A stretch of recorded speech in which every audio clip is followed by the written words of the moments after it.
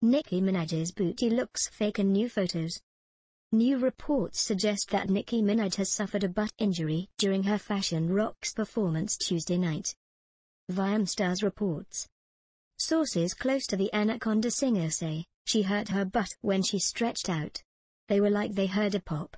Since Nicki's butt is fake, everyone thought her butt may have burst. In the rapper's defense, she has not confirmed nor denies that she had a butt augmentation, however, it is common for performers to hurt themselves during their routines. The site reports that the singer did receive medical attention and seems to be doing perfectly fine.